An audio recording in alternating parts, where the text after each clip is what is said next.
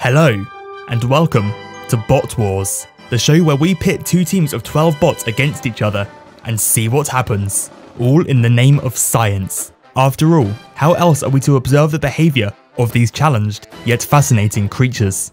With these experiments, we hope to truly understand the thought patterns and motivations of a bot, as well as gain important data on the bot's tactical strategies. However, such experiments aren't without consequence. In this case, exposure to such a high dosage of artificial intelligence can lead to excessive anger, inability to form coherent sentences, and loss of brain cells. You have been warned.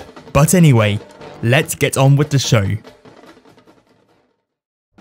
Our first map is CP Process. This alpine lab is located in a beautiful mountainous region and is usually calm and peaceful. That was until we populated it with 24 engineers. As we already know, engineers are the smartest variety of bots, so it'll be very interesting to see what ingenious methods they come up with to eliminate the enemy and capture the area. They've been in the arena for some time now, so let's take a look at what they've been doing. But what?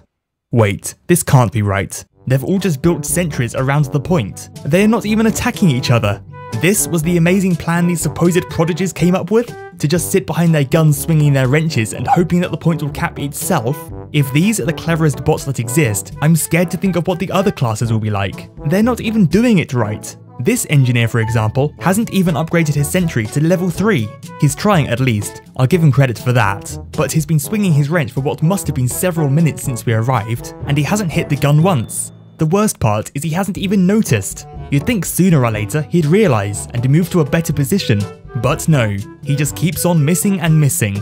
Then we've got this bot, who's built a sentry facing a wall. He literally had one job, and that was to build a sentry facing the point. But no, he couldn't even get that right. Instead, he built a turret facing the exact opposite direction.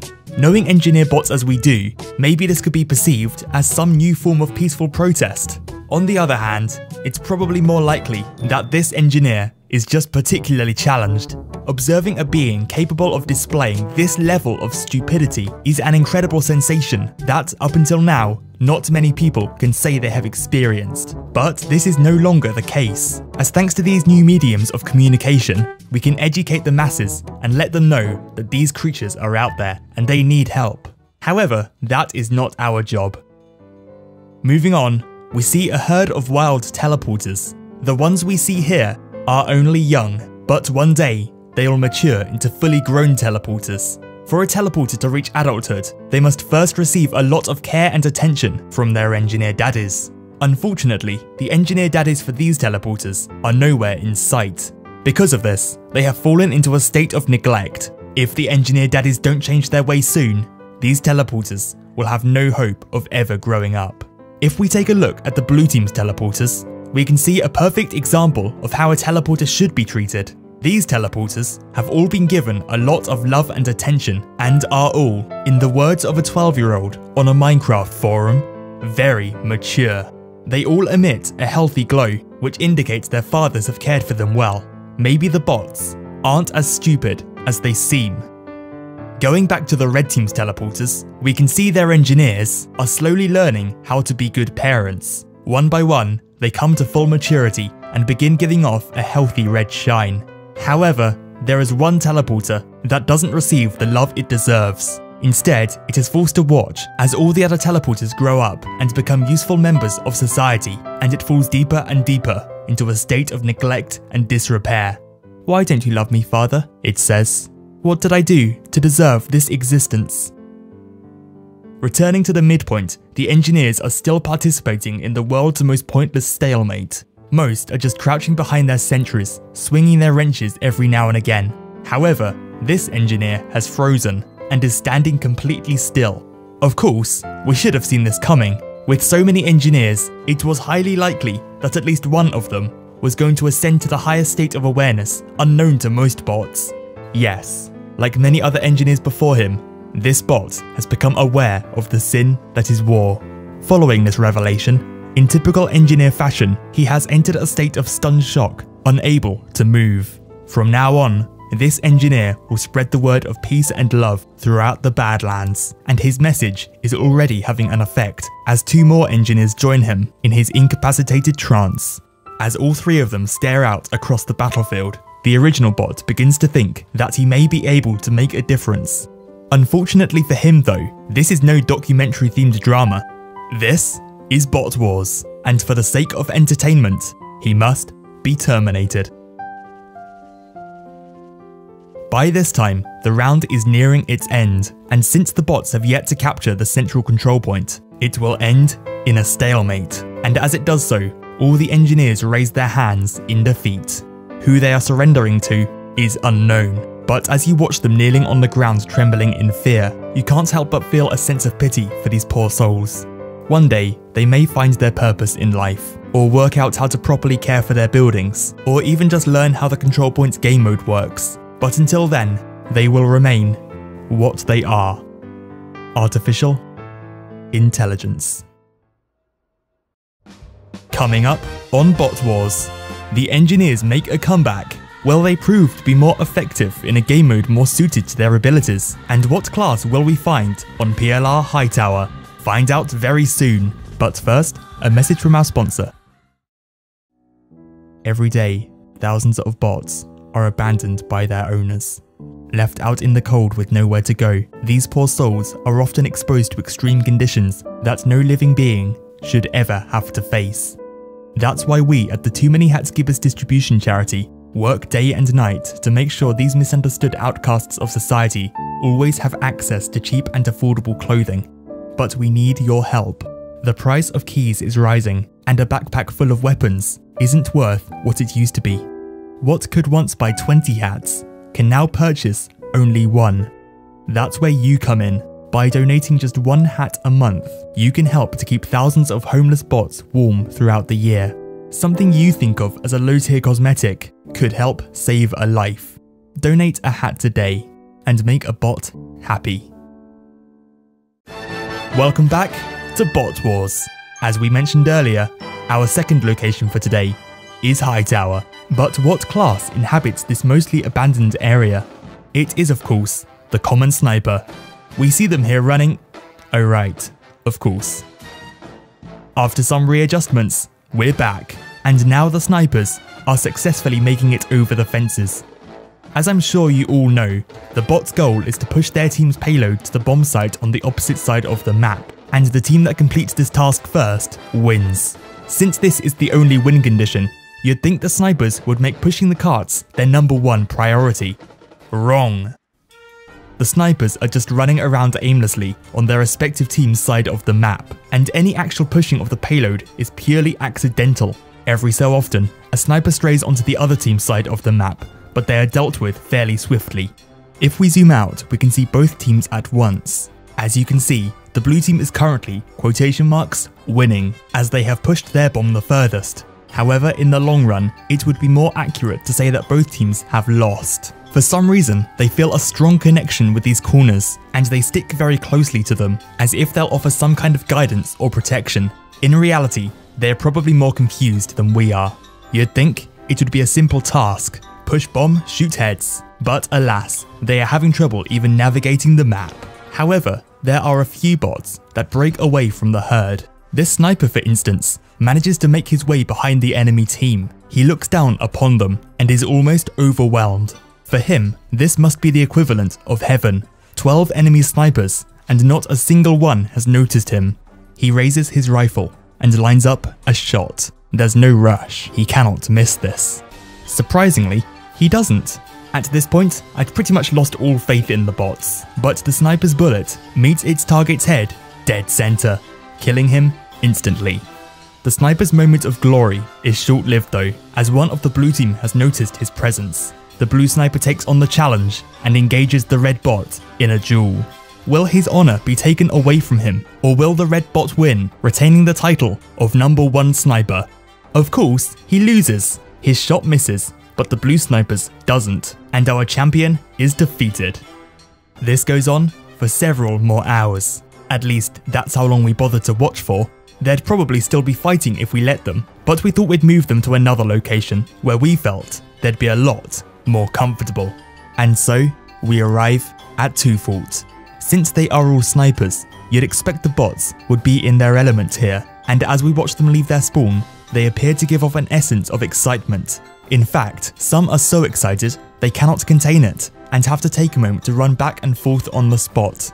To us, this seems like an odd way to show emotion, but for the bots, there's nothing out of the ordinary here. Since they are not human, they don't experience the same emotions we do. Their limit is recognizing something they like, which in turn causes them to enter a state of hyperactivity. It won't last long. Sure enough, the bots soon tire and make their way towards the enemy base. Out on the battlefield, the red team is advancing confidently on the blue team's side of the map. It appears the blue team has decided to adopt an unusually passive strategy, and because of this, the red team is able to get very close to the blue base without many casualties. Their goal of course being to capture the enemy's intelligence briefcase, which is hidden in a secret underground bunker below the building. The red team appears to have the upper hand, but after they enter the enemy base, three blue snipers sneak out unnoticed. Could this all be part of the blue team's elaborate plan to lure the red team into their base and then steal their intelligence without them even realizing? It could very well be, but unfortunately for the blue team, they haven't chosen the smartest of bots to carry out the mission, for one of the snipers walks over the bridge and then immediately steps backwards into the water below. Whether this was intentional or not, we cannot know for sure, but the way he presses against the wall for a bit gives the impression the bot hasn't even realised it's happened. Nevertheless, he disguises his blunder very well and quickly recalculates his route, which tells him to infiltrate the base via the sewer system. It appears to go well for him, as he doesn't encounter a single red team member. At first, one could assume they are all still in the blue base, but as our sniper makes his way up the stairs leading to the intel, an enemy sniper walks in, carrying his own team's briefcase. Evidently the rest of the blue snipers didn't do a very good job at defending. It's probably worth noting that if you plan to let the entire enemy team into your base, you best make sure you have a plan to deal with them. Anyway, the red sniper runs at the intruder, with his SMG spraying bullets everywhere. Needless to say, the blue sniper is killed, and with this obstacle out the way, the intelligence carrier's way is clear. Unfortunately, at that moment, another blue sniper appears from around a corner, his gun raised. The red sniper has time to fire a few shots, but it is too late to do any real harm. The blue sniper fires, and once again surprisingly, considering he is a bot, doesn't miss.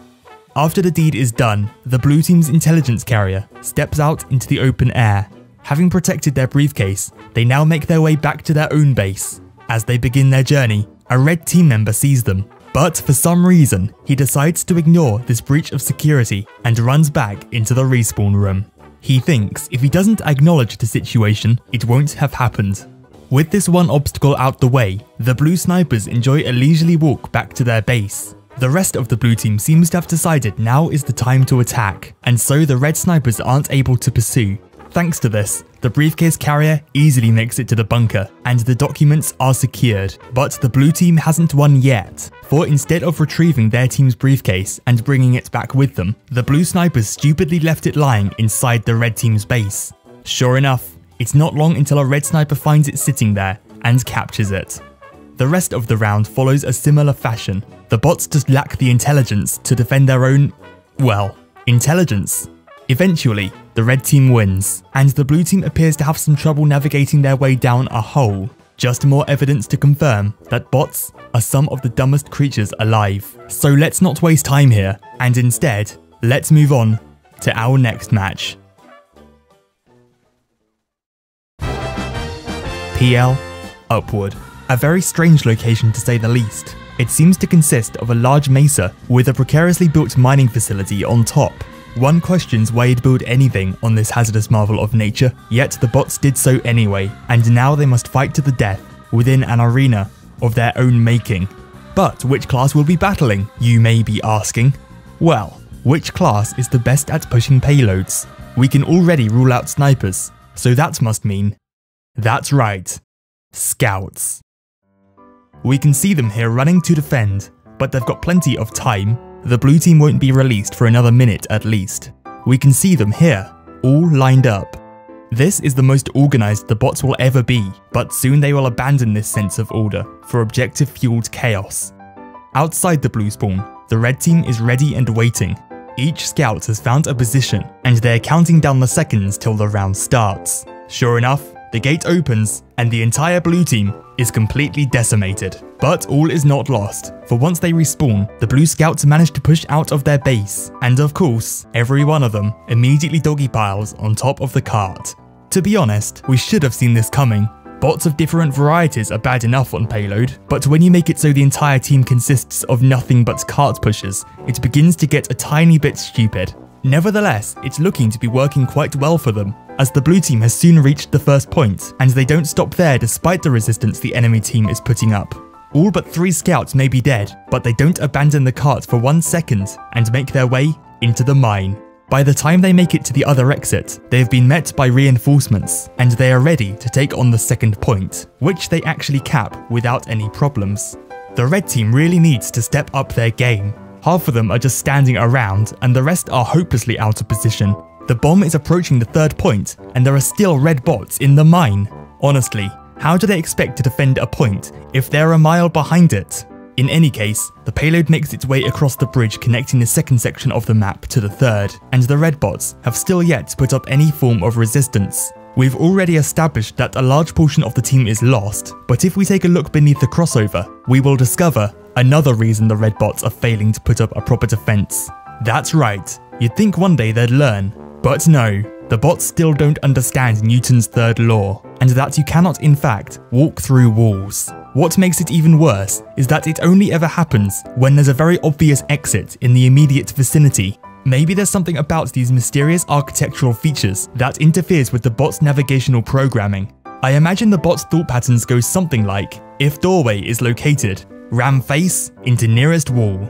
Back at the cart, the blue team is about to capture the third point, and they soon do so. The blue bots are still firmly glued to the payload, and up until now, it's always had at least one scout by its side. But that's all about to change. Shortly after the point is capped, the blue team decides to cut its losses and abandon the bomb, and thus their streak is broken. All is not lost however, for more blue team members soon arrive, and the payload is once again on its way. And as it trundles closer to the red team's base, the red bots continue to demonstrate why they are losing. One of their scouts finds himself on a catwalk and attempts to climb this cliff by pushing into it. When the plan doesn't succeed, he just stands there, confused. Walking forward at something has never failed him before, and so he stands there, contemplating his existence. But suddenly, he has a brainwave, or as close to a brainwave a bot can have, for as we know, bots do not possess brains of their own. Anyway, his plan of using the stairs has proved to be a great success. However, this scout's use of the stairs hasn't been as great of an achievement, for they have brought him further away from the point. How could this be? The scout thinks. They worked for that other bot? Despite this momentary lapse of confidence, he eventually decides to trust his instincts and continues in the wrong direction. If we return to the payload, the blue team is very close to winning the match. However, I'm getting a strange feeling we're missing something, and it has something to do with this door. What could possibly be interesting about a door, you may ask? Well, if we take a look behind it, we'll find a singular red scout stuck between the two shutters. This has probably got to be simultaneously the saddest and most pathetic thing I've ever seen on Bot Wars. The scout's not even moving, he's not struggling, he's not even running into the wall as bots are so prone to do in situations like these. Instead, he seems to have just given up. He's accepted there's no escape from this prison, and the worst thing about this is that if we take a look on the other side of the second door, we can see a singular leg poking through the shutter. How did this even happen? Well, if we go back a couple of minutes, we can see that the bots were using this exit when the blue team captured the third point, and this bot was in the wrong place at the wrong time and got caught. What a moron. The blue team is about to end the match, and as they do so, all but one of them is killed in the ensuing blast. Sad, but even that doesn't come close to what we have just witnessed, and as the residual fire of the explosion burns, the trapped bot is still standing there, his thumb in his mouth and one leg stuck in the door. And as the sounds of the battle fade and the bots move to a new location, this one scout is left behind, alone, forgotten.